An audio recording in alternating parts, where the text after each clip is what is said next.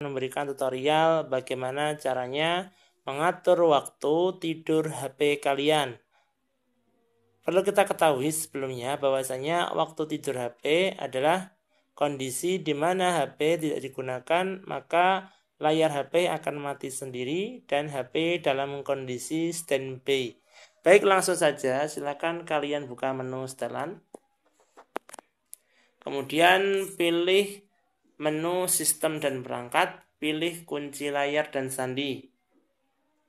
Kemudian pada menu layar kunci, silahkan kalian pilih pada bagian tidur, kalian pilih waktu yang kalian inginkan.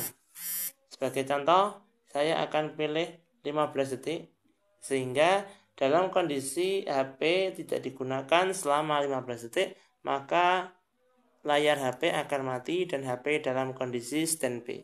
Mari kita coba, kita hitung. 1, 2, 3, 4, 5, 6, 7, 8, 9, 10, 11, 12, 13, 14, 15. Nah, kalian lihat HP dalam kondisi layar mati dan standby.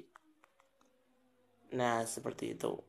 Baik, Begitu saja tutorial yang bisa saya berikan. Semoga ini bisa bermanfaat.